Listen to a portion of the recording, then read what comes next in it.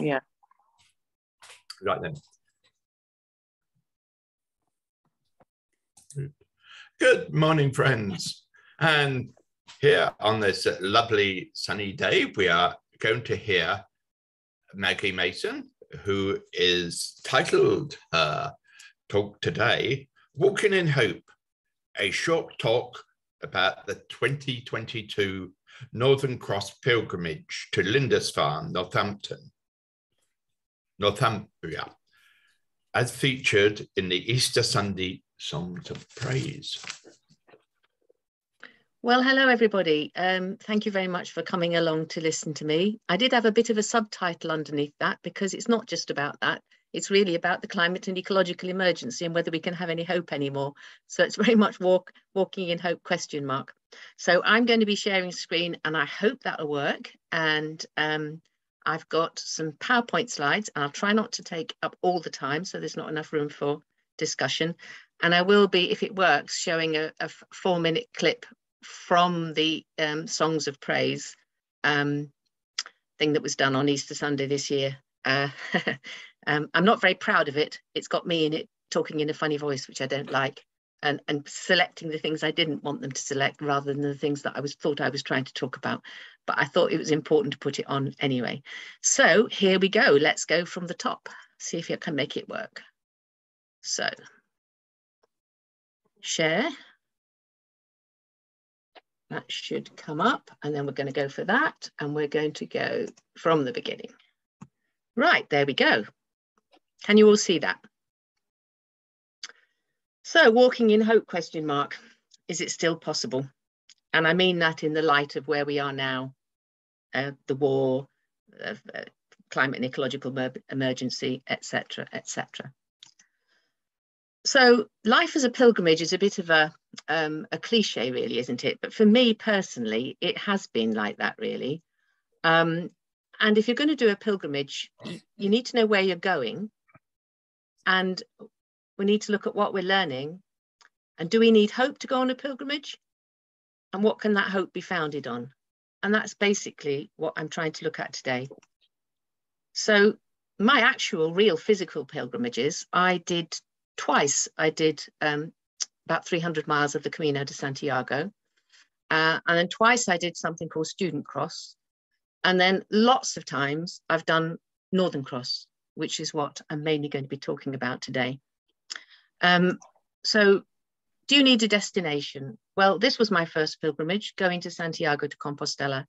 I mean, really, pilgrimages, destinations for pilgrimage are kind of just something you have to have, but really did we really want to go to a place where there's a huge gold shrine supposedly holding a relic of the um, of James the Apostle um, and full of ornate stuff? It didn't really matter because it's the journey that matters. So I set off in 1974 um, to walk 300 miles of the Camino. Um, my sister had done it before, and uh, we gathered up some other people that we knew to go along and it was being led actually by a, a very interesting Catholic priest who was really a, um, he lived in Africa most of the time, and he was a bit of a was a bit of a, a rebel himself. But this was Franco's Spain, so you can see from the pictures, you know, um, mostly black and white pictures as well. We were crossing rivers where there were no bridges, and there weren't that many roads as we sort of wandered across the plains. And um, actually, none of us spoke any Spanish at all until we found this nice young man um, at the bottom here who was just wandering around and he spoke Spanish. So he came with us as an interpreter. And there were no signposts, uh, no nice shells like there are later on, um, and hardly any toilets at all. And most of them were sort of squatter types. And you went out in the fields sometimes.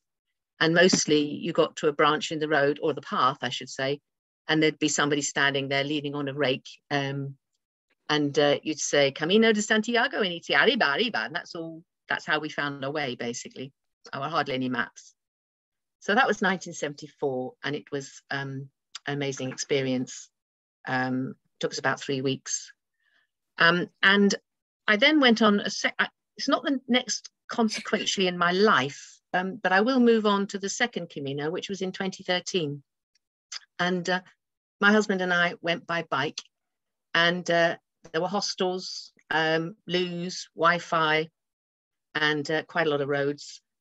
And it was again a wonderful experience. Um, not quite what we expected, but very different and, and great. This one of us sitting together on a bench with our, my feet in a in a plastic bowl was particularly lovely because this thing about washing our feet in a bowl at the end of a pilgrimage is something that has has carried on into Northern Cross, and um, we uh, we found that place where we had slept in a piggery in a high village called Rabanal, and they'd actually turned it into a pilgrim hostel now. And the piece of plank which we're sitting on there was on the other side and i've got a photograph of us all sitting along that side um, with our because we carried plastic bags uh, plastic bowls to wash our feet because there was no bathrooms or anything. And uh, in this place they've kept that tradition alive and they had a pile of plastic bowls to wash your feet and um and and the and the big log had been moved from one side to the other um, which was which was lovely.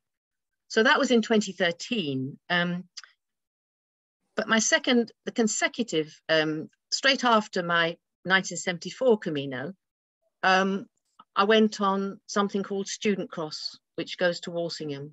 It's now called Pilgrim Cross. So um, I walked it in 1975 and 76. So immediately after the year after the um, after the Camino, and that was because some people who were with us on the Camino had done this and they recommended it but what of its interest to me is that it started in 1948 as a pilgrimage, pilgrimage of present penance and prayer, and it was really in penance for the and horror for what had happened in the Second World War. So it was, um, you see the picture of them then back in 1948. Uh, it was strong community, um, quite pacifist, a little bit communist, uh, very Roman Catholic. So it had formal Holy Week and Easter liturgies, and the destination was a shrine devoted to Mary so again, you know, was that the kind of um, it does it does the destination matter or is it this the journey?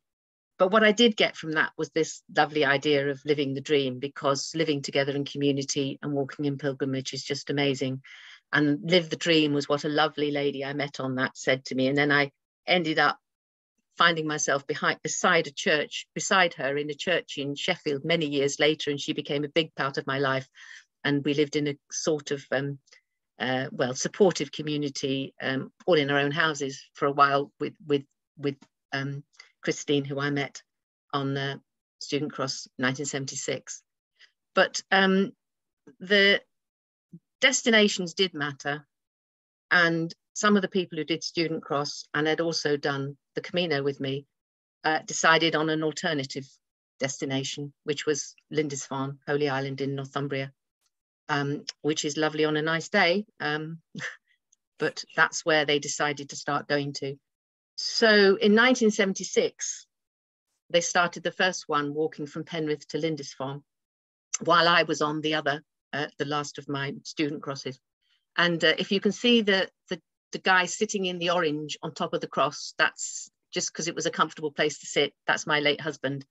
Um, and there he is again there standing by the church, we by the cross we made this cross in our garage. Um, and as a contrast to Student Cross, Northern Cross only had two rules.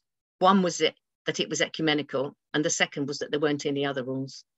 And it was um, delightfully um, liberal for the time. We thought we were terribly rebellious um, because they were, again, mainly uh, Catholic postgraduate students or young professionals. And um, we, we managed to drag along some Catholic chaplains to, to, to do some Catholic services or nobody would want to go. And then we had a service in the Anglican church on, on uh, Lindisfarne and we all loved going to communion to the wrong vicar, you know, uh, we were thought we were terribly rebellious. And when there was a woman vicar, that was even better. And um, it started off quite liberal and good fun. Um, so in 1977, um, it expanded and then there were two legs and I went along and we did a play in the host churches, which somebody wrote because it was all, it was all democratic and you just voted for leaders each time. Somebody wrote a play and the first lines in the first play on a, um, having just learnt our part on the Saturday in the next Sunday, wandering across Northumberland was me saying, I don't give a damn what Jesus says with great um, emphasis, which is what I was told to do. Um, but it was really interesting. We sang in the pubs. Um, as I say, it was liturgically rebellious. Um, we did a lot in the pubs. That's me at the back. I was six months pregnant, um, but it was a remarkable experience. And we met really interesting people and explored ideas. Um, we weren't all that ecumenical because, you know, they wouldn't have really known what to do if, if they got a Baptist, to be honest. Um, but there we go. Um, so it's a meditation on history to carry across along beside Hadrian's Wall, thinking that you're carrying a Roman um, instrument of torture along beside the old Hadrian's Wall. Um, I'm showing you all pictures in the sunshine, but it didn't always, obviously. And it's carried on, you see, since 1977 to now with only a few breaks. And a lot of what I'm going to talk to about you about is 2022, but um, these are pictures from before. Um, on this occasion, uh, yes, carrying the cross makes you think. This dear gentleman here is called Stefan, and he's a Quaker from Sheffield.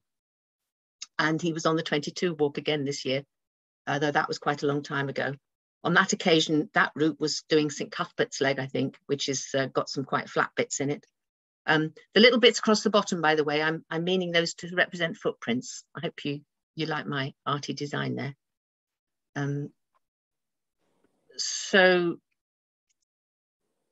and then when we could, when Easter used to coincide with the school holidays, which it doesn't always do now, we used to get quite a lot of young people. Um, and this is two legs coming together. You can see two crosses. And in the, the, the different, by now, at times there've been five or even six legs all joining together um, at the end. And so they converge on this one road as they go down to the sands. And there's a lot of fun when everybody gets together. Um, and they all blow whistles, which is really lovely. Um, and then crossing the sands on Good Friday. Um, on this year that this photograph's come from, clearly one of the legs, as we call them, um, was traveling on their own, whereas sometimes we would all gather together and come over across. It's a question of how you manage the traffic on the other side. Um, but I want to tell you something about this because you see, when we first started, it's about leadership. What have I learned? A lot about leadership, a lot about um, faith and worship. Because if you go right back to the beginning, to the, the Camino that we did in 1974, that was led by a priest. He did all the liturgy and said prayers, and it was a bit rebellious, and they were quite happy to you know, say mass not wearing the right things and doing things in the wrong places, a bit on the liberal wing. But um, that was people quite content to do it that way. Um, Student Cross was a more participatory, and they had a thing whereby um, when you stop for a rest, you one person would lead a meditation or a thought that they'd been thinking about as they walked along. So it it was for me perhaps a beginning towards um, a Quaker way of doing things. Um, there was there was thoughtfulness, there was meditation, and people were free to just to say what they want. Um, and Northern Cross carried that idea forward. Um, what they call the stations, um, always followed by a cup of tea and a biscuit from a car which sort of follows you behind, comes along and meets you at meeting spots. Um, but again, there's a little handbook, um, a, a, leg guide, which is written for each year, um, and it contains a selection of thoughts, poems, etc. And then there's a songbook collects, has a, a series of, of thoughts, uh, of songs, and there is there is involvement in what thoughts and prayers and words you put into it. And you either um, choose choose a prayer from there if you're kind of a bit nervous but you want to take a, a turn at, at giving ministry really. Um, but also people just speak off the cuff. Um, so it's a very participatory very egalitarian um, and of course lots and lots of work making porridge in the morning and washing up and loading things into car and that's all totally um, done share you, you share all of that. So it's a lovely experience of, of pilgrimage um, so this was 2018, Easter Sunday. Uh, it was a kind of a high point for me, really. Um, we'd only had one year when we hadn't walked, and that was the year of um, foot and mouth. Um, and 2018 was great. It was sunny. Um, the young lady carrying the cross there is my eldest granddaughter. She'd come along towards the end. Um, we were all full of, of joy and, and Easter excitement. Um, but then 2019, I, I, my husband died just before I was going to go. They came actually to his, his funeral on their way back, um, a lot of the pilgrims. And then 2020 and 2021, we couldn't walk because of COVID. So 2022 has been a very different experience and um, an interesting one, partly due to the intervention of Songs of Praise, who told us they wanted to film us. Um, so where were we in 2022? I mean, for me, Northern Cross is a reflection on the last week of Jesus's life. And reflections on Tor and torture and oppression, they've always been an element of that because it goes back to the origins in Student Cross and World War II. And there's always been, as you walk along, you could imagine you're carrying the cross, you're thinking it's really, really visceral because you're doing something physical and it doesn't need any words and you're just experiencing it. Um, and yeah, you, you, you, you've been thinking about, you know, things happening in Syria, things happening here, things happening there. But in 2022, I found it really, really shocking to be walking it as Russia invaded Ukraine, to be a war in Europe again. Shocking. Um, and uh, weirdly, we did the Holy Island filming on the 13th of March because um, Songs of Praise wanted us to do a fake Northern Cross first so they could film it, so they could be shown. So we went up and we did the crossing and we did a pretending Easter Sunday with them, which appears on the film. Um, and then we went back to do the real thing, actually the week before Easter, as we should do. Um, and so it was just really starting when we did the fake Northern Cross. Um, but we, it was really embedded when we were, the war was really embedded when we were walking the real Northern Cross. And also the whole leg got COVID. My, my group was walking from Lanark and uh, I turned up a bit late because I'd done an Extinction Rebellion event on the on the Saturday. So I'd caught COVID from somebody in London. But dear Stefan, he turned up with COVID and slowly everybody went down with it. And they just about managed to get themselves to Holy Island across the sands, get the cross to the other side onto Holy Island. And then they packed everything back in the car and went home because they had got COVID and didn't want to bring it to the second leg of Northern Cross, which then was one coming from Carlisle again.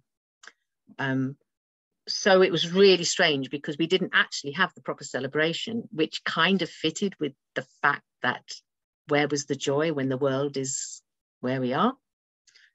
Um, so a very thoughtful, very thoughtful process. So I'm now going to stop sharing this one, end this slideshow, um, try and stop sharing. Let me just get that up big. Um, why won't it show me everything? Because uh, I want to go in and show you a little bit of a film. Uh, okay, um, stop sharing and then start sharing again. And this time, this should work. Let's get it back to the beginning.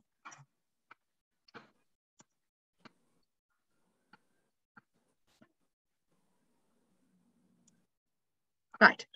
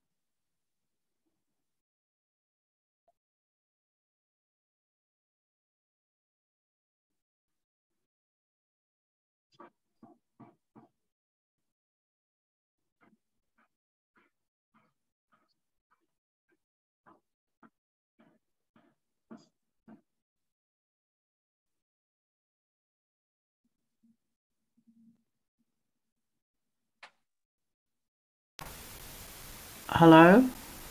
How are we doing? I can't hear anything. Oh, sorry. No, I, I can't hear anything either. Oh, I no. can't. I, Sorry. Have you not been able to hear from the start? no. No, no, oh, nothing. no, that's awful. You should have said. Thank you so much for saying. With, with, Um, I, I, I thought that you were pausing to get it up. Do you know what I mean? I- did you see don't- anything? no, just you yourself. No, no, nothing. But- The but- Microsoft was Sorry. there. A blank, a blank, the blue screen we- of we'll, We'll forget that then. Um, and we will stop that. Okay, right. Thank you for telling me. I wish you told me earlier, but at least you saw some pictures. So that's fine. Because what was going to come up next was me uh, saying stuff, and it's probably actually providential because I didn't like what they filmed about what I said. They ambushed me talking about my late husband, and um, I ended up, to, and that's the only bit they showed. They didn't say anything I said about Ukraine, about um, anything important, really. But that's just typical, isn't it? So I will go back to sharing the actual uh, presentation, okay? Because we carry on now. Um, that should work. No, I don't want to go from beginning. I want to go from current slide. No, I just nip through. I'll just nip through, okay? Is that all right? I'll just nip through all of this. Yeah, that's good. Yeah. Okay, so we just flash through all of these things and we'll get to where I was. Okay, so where are joy and hope in 2022? Um, this is deliberately an elephant in the room because the elephant in the room here is that, um, well, one of the elephants in the room is that this is kind of a bit of a, not exactly a middle class, but this is this is a luxury to be able to be in a situation of worrying about joy and hope in 2022 because there's plenty of pe- people. And all they're trying to hope for really is food on their plate feeding the family um, and so on. Sort of a bit high up maslow's level of um, hierarchy of needs or whatever. But it is something that troubles me and i suspect that it troubles quite a lot of us um, you know we can find hope in nature sometimes we uh, can get involved in the appreciating the now um, some of us could do simple actions. This is my friends in Kendal, um, some of whom are, are friends, some uh, are Quakers and some who are not, mostly are not, I think. But then in 2017, you see, we wrote on Another World is Possible. That felt more true in 2017. Um, 2022, nonviolent direct action. People will be um, taking extreme action with Just Stop, Just Stop Oil. I've got a friend who's in remand in prison at the moment. Um, not something I personally have chosen to do, though I did get did get arrested once um, back in October 2019 for something much milder. Um, and when we talk to these these friends of ours, um, and we're alongside people like this, I personally feel that I need to know where my hope is coming from and what it's based on, and to explore that with people who, who perhaps may um, agree with me to some extent. And the other elephant in the room that comes in is that what you would have seen if you'd seen the bit of the film with, with me talking is that a little hint of the fact that a lot of my hope comes from my faith and some of it which is not really very examined. So, for example, um, Songs of Praise really wanted to find out what we thought about simple Christian truths, in inverted commas, that most of their people would be looking at. So, yeah, I tried to talk about the resurrection, what Christians call the resurrection. And none of my friends in Extinction Rebellion, or very, very few, would be interested that being the source of my, our hope. And if I was to mention it, if you're not careful, you're seen as a you could be seen as a sort of right wing right wing US um, um, evangelical who just thinks that Jesus is going to come down and uh, solve everything and give us a new earth and we don't need to do anything and it'll all be great. And you know, getting covered carried up into the rapture. And as you will know, we're not in that place. But I do realize when I carry the cross at Easter and go and commit myself to do that, I'm saying something that's very, very deep to me which I'm very interested in exploring. So what I did next while trying to prepare this, and it's been really good for me as an experience, um, I did two things. I went to a an old-fashioned concordance in the back of an old-fashioned paper Bible, and I also looked at online to look at the word hope and where hope was coming from and the different ways it was used. And I also went into Quaker faith and practice.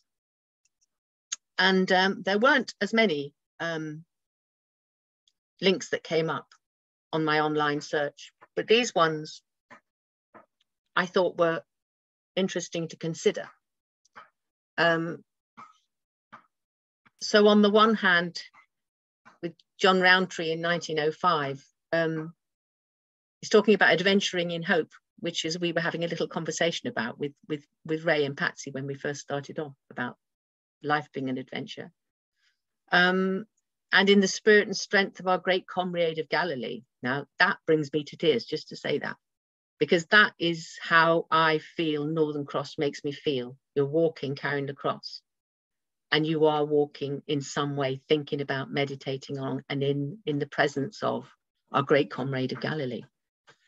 Um, and this uh, other one is from Marsden monthly meeting concerning John Bright.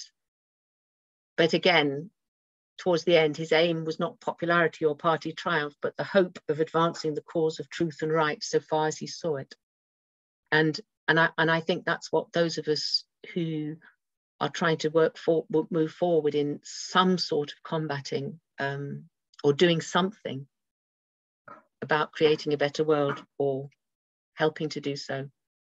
Uh, and again, at the bottom, I found it tremendously comforting to see this. All thoughtful men and women are torn at heart by the present situation, because I think that's a beautiful description about how a lot of us, how a lot of us feel.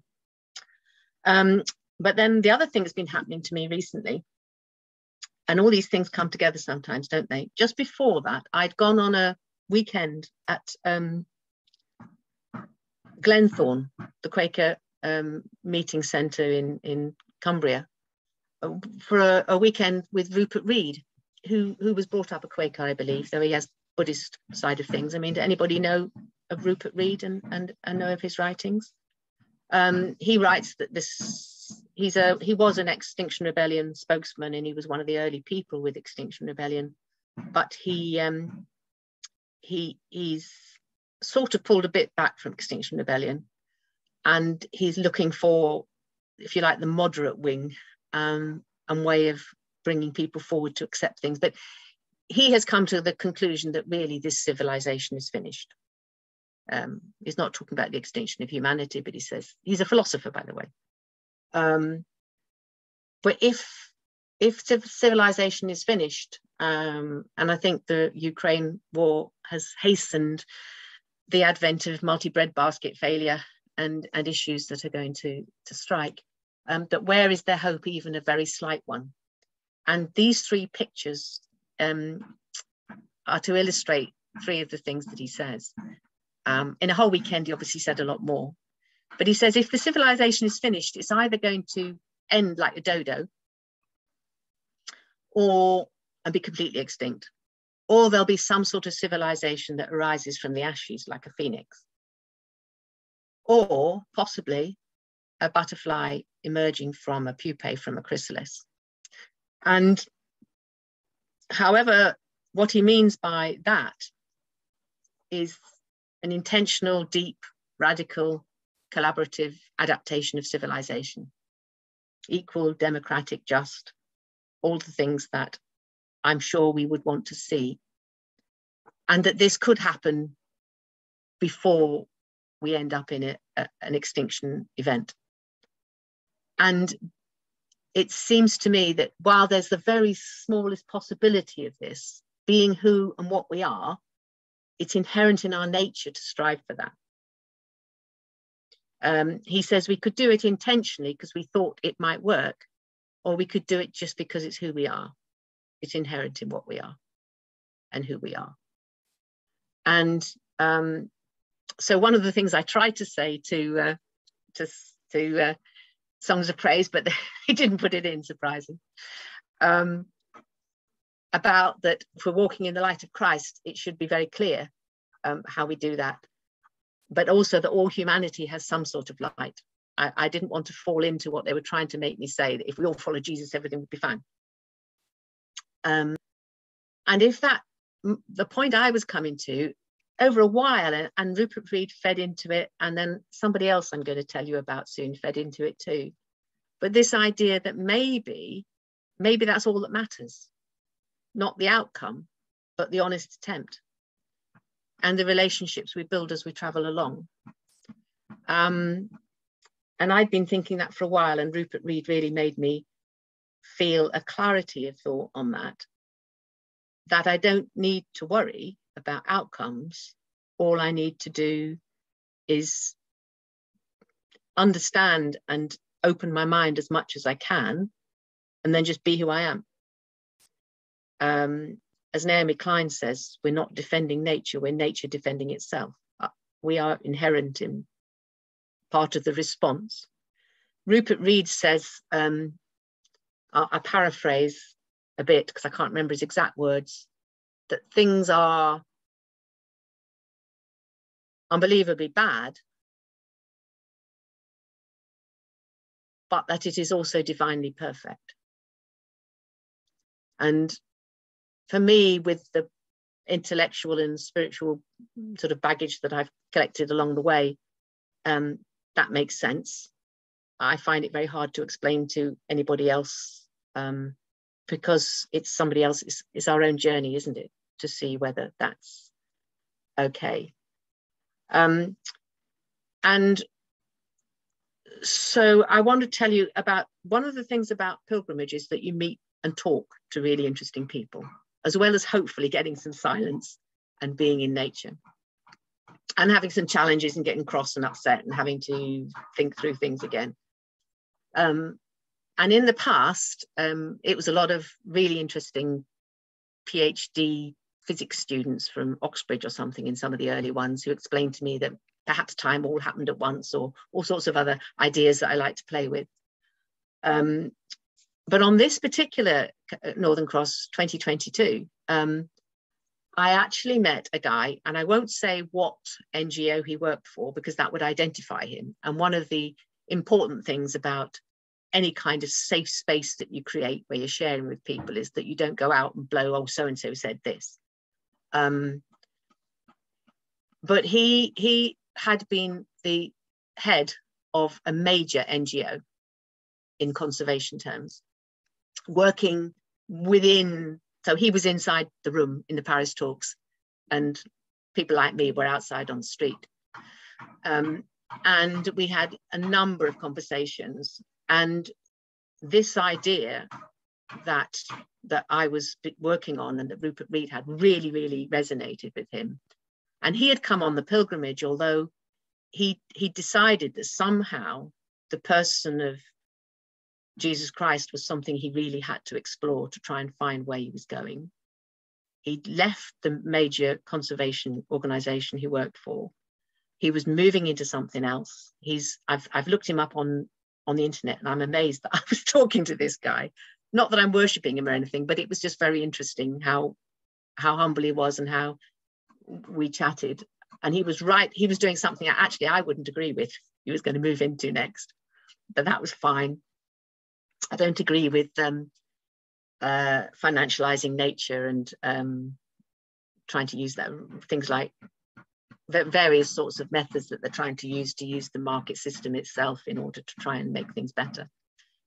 But um, yeah, it was very interesting, and it kind of gave me extra courage, I think, to continue with my my journey. So, so I come to a kind of an interim conclusion, really, um, which is for me.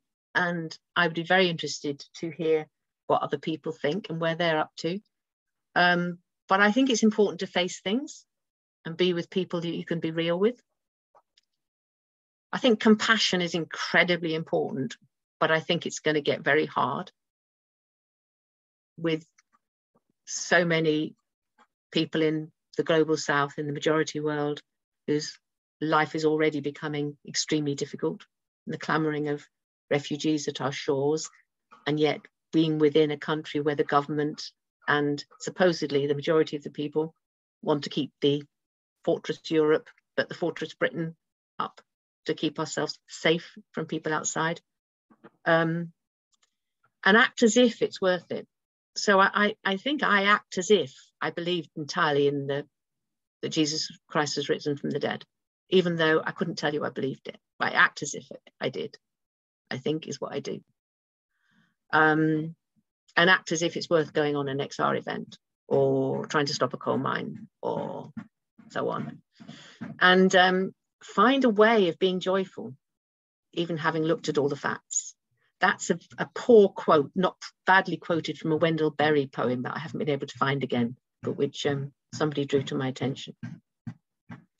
So that is my my contribution, um, and I will stop sharing and hand it over to discussion, if that's all right.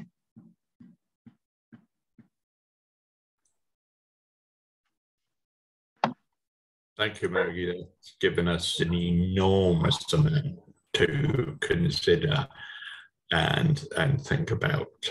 So, our friends, questions and comment, please. Yeah. I, I quite agree. It's so important to be joyful. I, I I'm very fortunate because I look out of my window and above the tops of the houses, what I mainly see is trees. And I know I am very, very lucky to be looking out at trees and not at a grey concrete wall of flats or something. But but it, that makes it easy for me to be joyful. And um, when I can't see those trees, I can remember them. And I remember the sea as well. That's important to me. I love the sea. And they're, they're true. They, those images do bring joy into my heart. And it does, it does affect how, how I can deal with the rest of my life. Thank,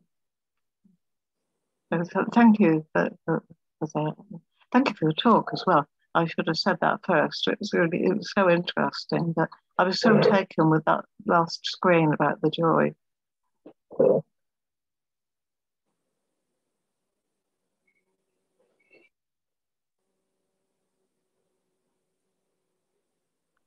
Got a hand up from Richard.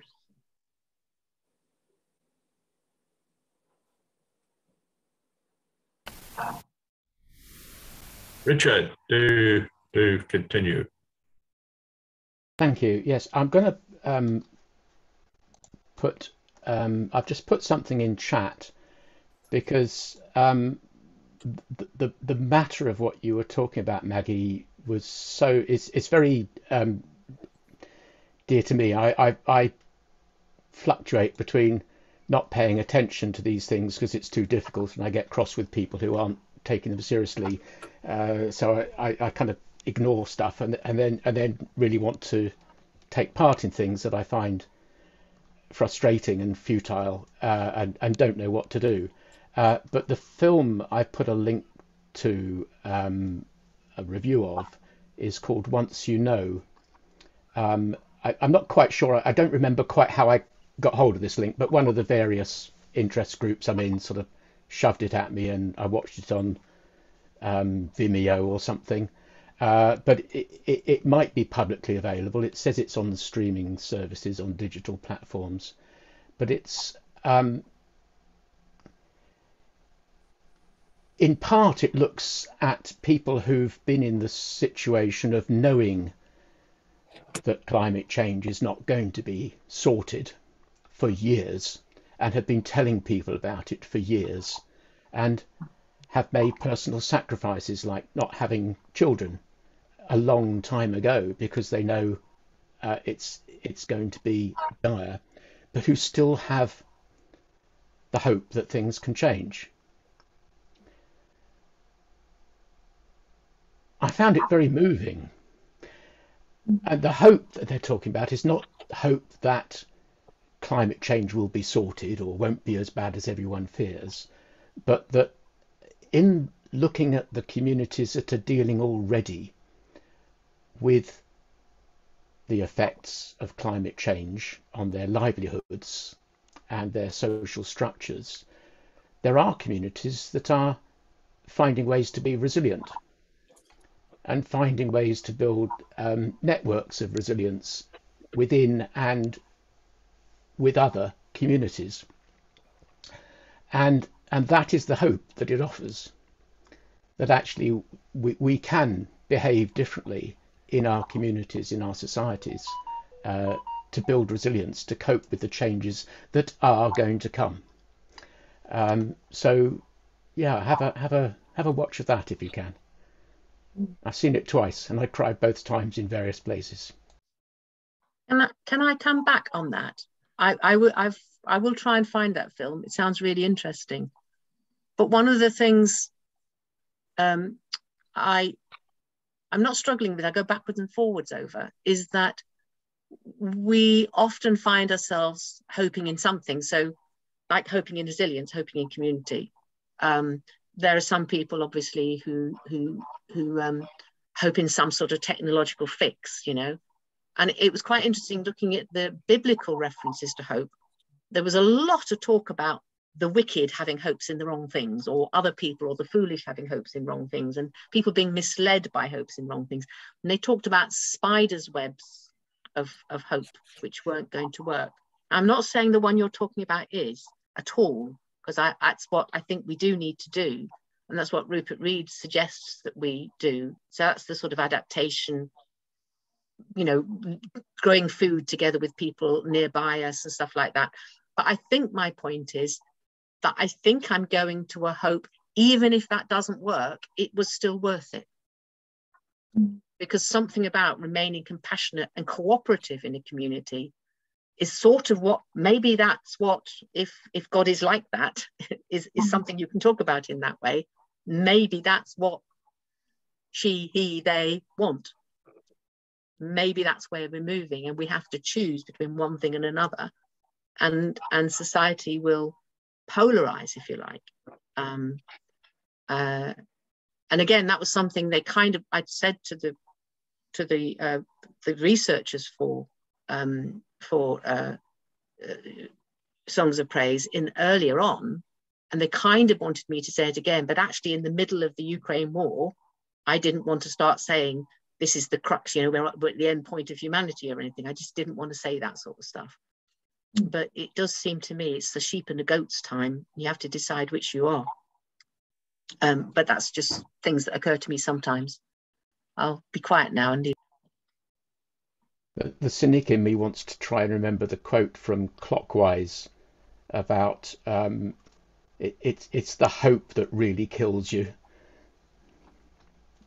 Yes, but that's what that's what Greta Thunberg says. You see, Greta Thunberg gets really really angry if people tell her, "Oh, you should have more hope," and um, there are a lot of people who say that don't tell me to hope because I've got to learn to cope without hope. Um, but it's very much a personal choice, I think.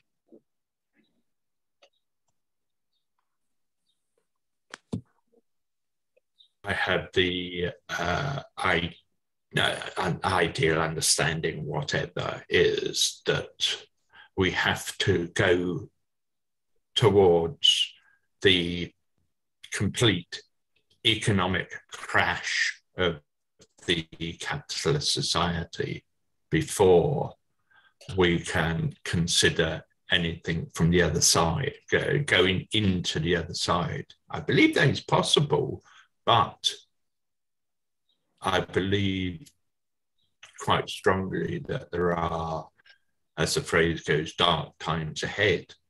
But there will be a there, there, there will be a dawn. You know, it's um, it's something I I believed in since I was perhaps a young hippie, you know, and uh, and still have shreds of that within this this cynical old frame.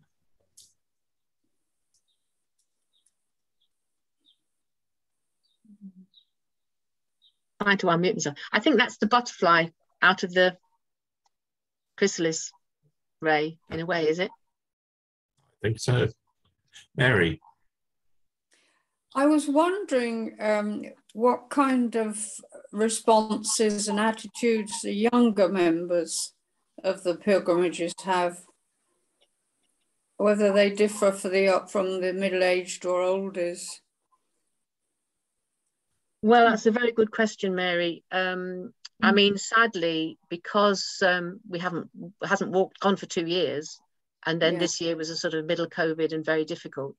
We didn't really have any young people with us. There was a, there's a younger generation than me, um, and because they're actually um, young professionals and they're embroiled in their workplaces, and um, I think it's it's obviously a luxury to be on a pension and have to finish my career and being able to you know retire from um, mm. something which might have been harmful and then use all my knowledge there to try and fight climate change.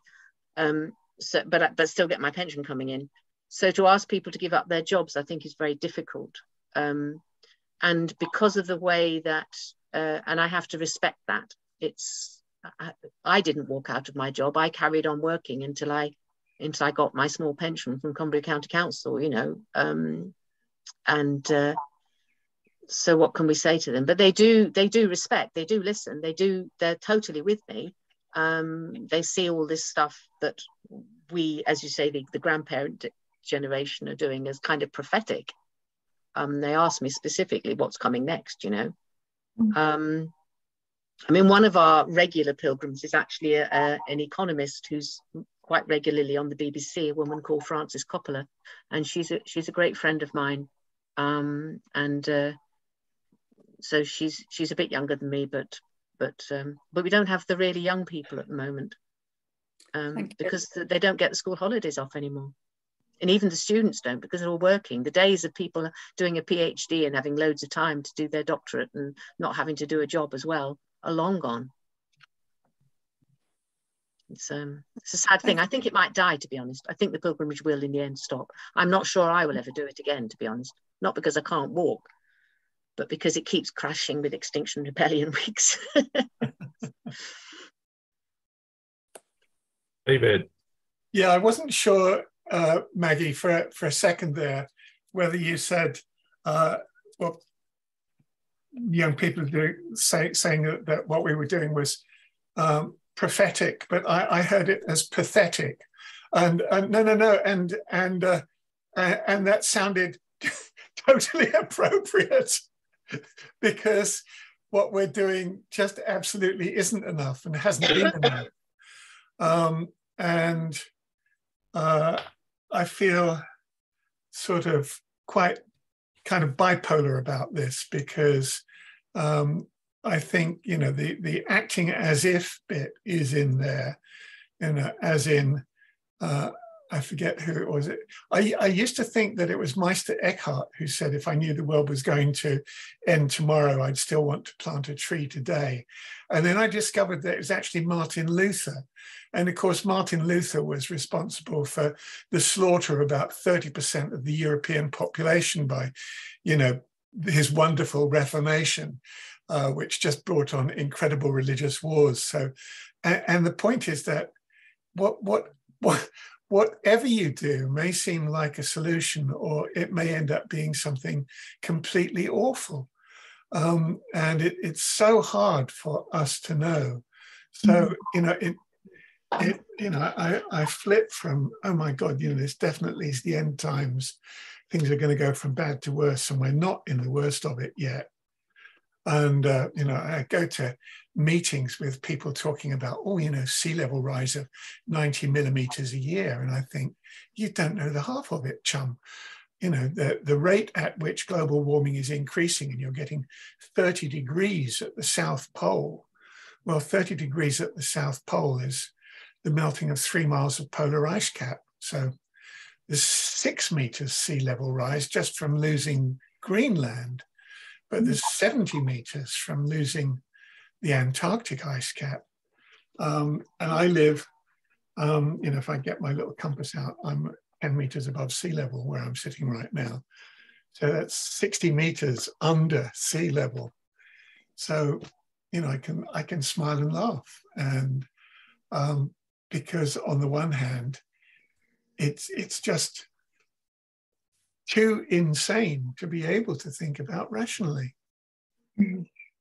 I love your comment about hearing prophetic as pathetic because I think you're absolutely right. Both are true.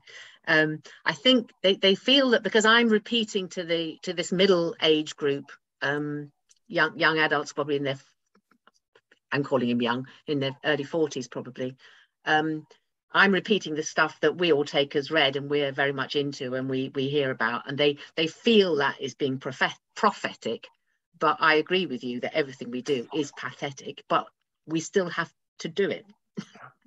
and and to be honest, it gives us joy sometimes just working together. So it's just a natural reaction to want to do stuff together, and it makes us feel better. So in some senses, I sort of think, well, don't overthink this, Maggie. Just get on and and do what what feels good. It's like the old it's like the old stuff they used to say. I've got an awful lot of my old Catholic spirituality, which is still sort of bubbling away under the surface, and sometimes it's quite a rich vein. But you know, love God and do what you like, um, because you'll only like to do things that are of God if you if you if you if you love that. And it's the same. Love the earth and do what you like. Um, but yes, there are times when it's difficult because what we've feel we have to do is sitting at a computer, not out in the garden or going for a bike ride or doing things that we would enjoy more. Hence the hence there is the sacrificial element, even though I certainly didn't sacrifice myself or stop having children. I've got five of them, so goodness. Yeah. Before we knew. if, if, I, if I can sort of speak again, I mean, I think the joy is easier to um, handle than the hope because you can get the joy by looking at the small things and doing stuff mm. and and uh, and I, I have an affinity I have a, an aptitude for that. Um, it's the hope I struggle with. Um, but I, I, in my mind because I've been going to a lot of the yearly meeting preparation stuff uh, this week and last night's I found um, quite surprising. It was uncomfortable histories. Now I know the generality of, of what they're talking about and and all these great heroes of Quaker history are faulty people. But I, I hadn't realized the extent, the sheer extent to which people had ignored um, the issues of slavery because it wasn't convenient to hear the truth. I hadn't heard before about the Germantown Declaration uh, in 1688 that was sent up through all the meetings and ignored um, from a group of Mennonites who associated themselves with Quakers uh, that, that, thought that slavery was appalling and an insult to um, God's intent.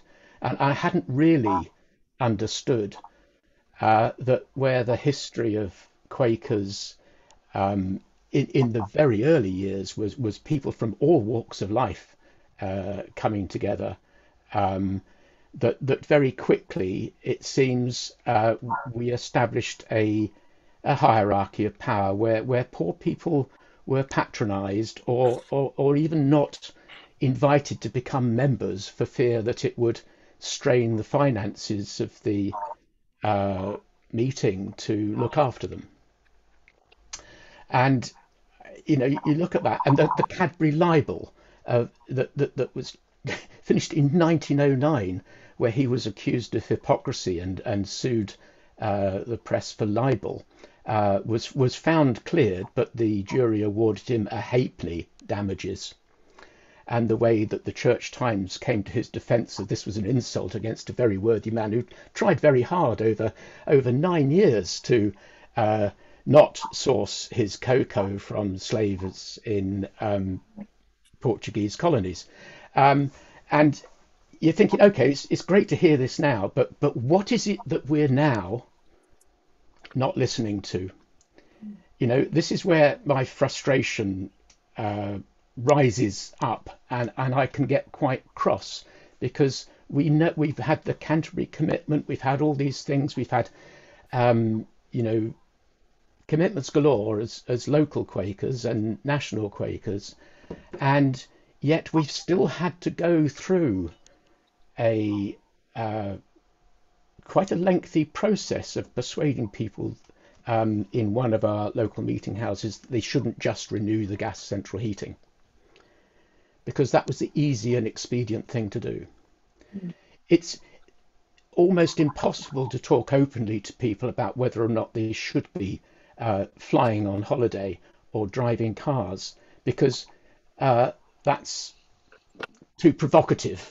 Um, and yet, you know, they did try to exclude people from Quaker communities for owning slaves, but but didn't have, have, ever have the the courage to do that, even in the days when Quaker had that authority. So um, I, I, do wonder with all this stuff whether we're just being a bit nice with each other and, and we should be a bit more demanding of each other. Uh, and I include myself in that. I mean, I think I'm okay, but you know, someone should be pointing to, well, why are you still doing that? And, you know, um, I, I, don't feel held to account by Quakers for my uh, standing in the world, for my action in the world.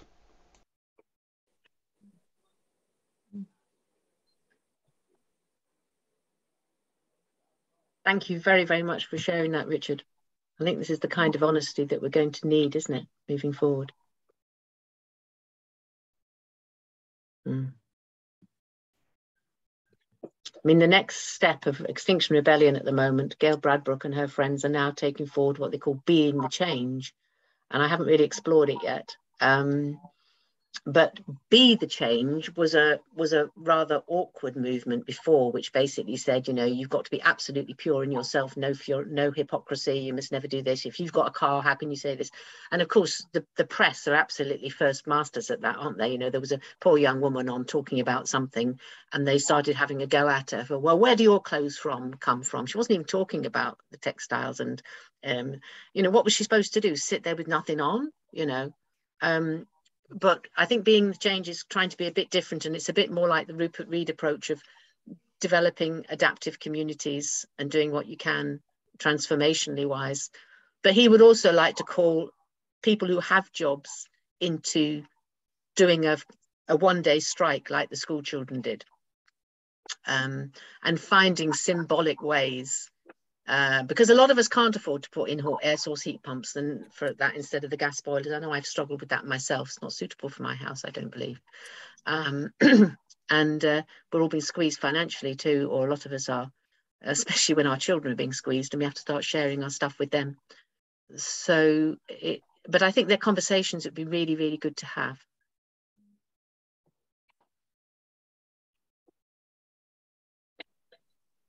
Well, it's 11.59. Um, 11.59.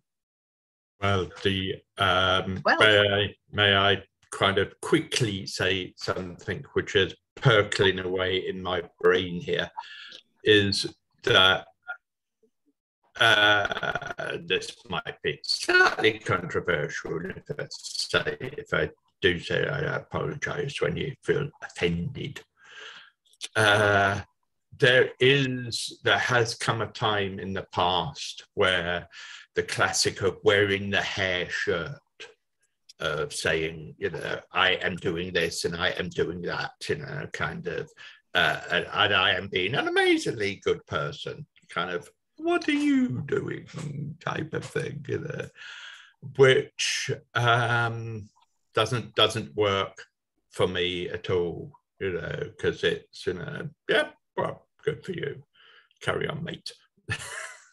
I'm going to be naughty and squeezing something else. You also get, and I've met people who do this, a really quite unhealthy um, and and um, obsessive attempt to to do things. And people with mental health difficulties as well can feel.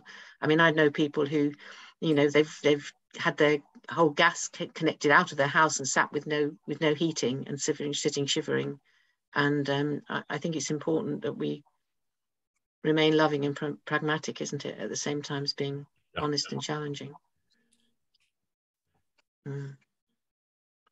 Right. Any, any more comments, friends? Well, just just a quickie, and that is that, um,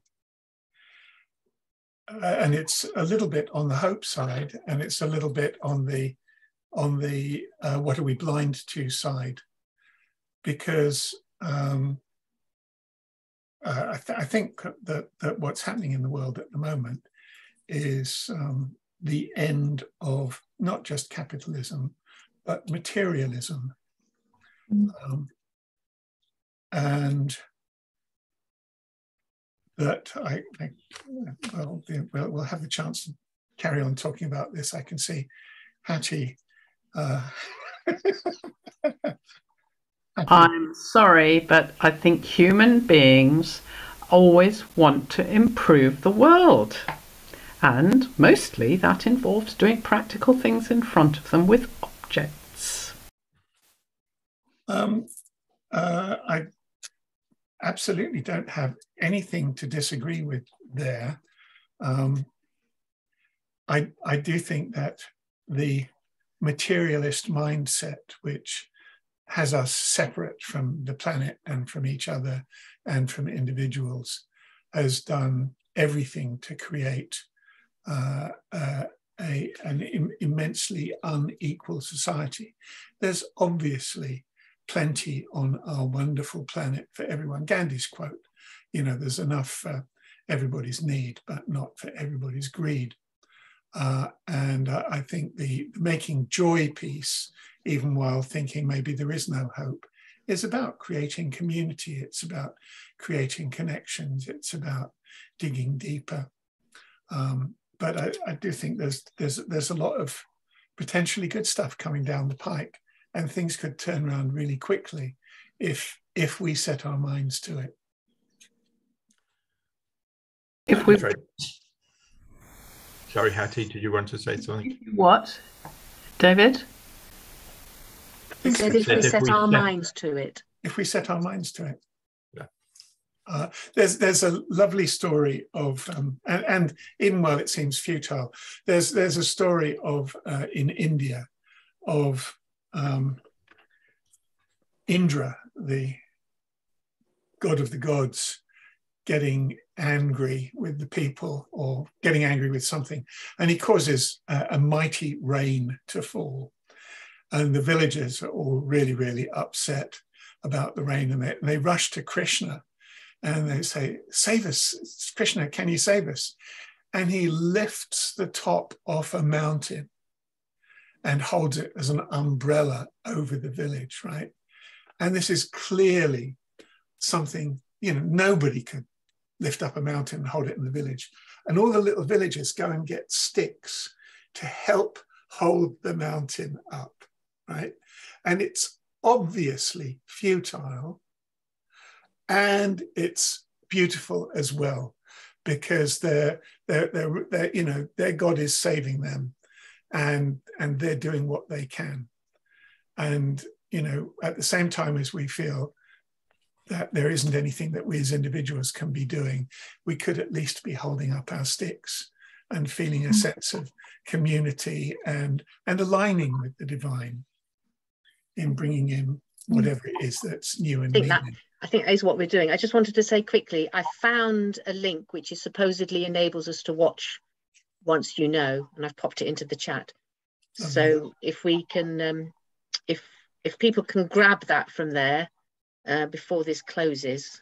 Um, I don't know whether you saved the chat uh, or whether you can pick those uh, things out. I saved the chat and I will put the link in the notes for the uh, video of this talk when we do it. So. I put notes under the talk, which gives fairly comprehensive links. So you can take the notes and send it to someone and it gives a link to the talk and to anything else that's been talked about. Well, thank you very much, everybody, for listening to me so intently and um, bearing with me when you couldn't hear anything. So you saw some pictures but didn't hear anything, and uh, and and contributing to the discussions. Lovely. Thank you very much. Lovely, Maggie. Thank you. Okay, thanks. Uh, thank you very much to everybody, and to next week as which is quite remarkable. We're having Alan Pleydell, I think that's how you pronounce his name, uh, speaking um, Ukraine slash Russia, testing our peace testimony. That's good. I will see you then, Prince. Bye, everybody. Thank you, Maggie. Bye. Thank you. Bye. Thank you.